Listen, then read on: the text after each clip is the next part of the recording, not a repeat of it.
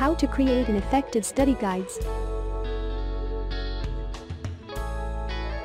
First, create the format of your study guide according to your time. Use concept diagrams to connect the main idea and put them in chronological order. Use sample tests to analyze the content of your subject to guide your plan. Gather all your class notes and lecture include the handout material and use it in your study guide.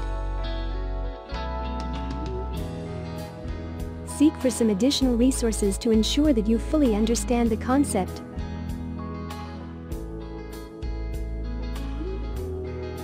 Focus on the central theory and lecture of each chapter. Highlight all the hard material and review it after you finish it. Thank you for watching. For more, visit our site www.homeworkjoy.com.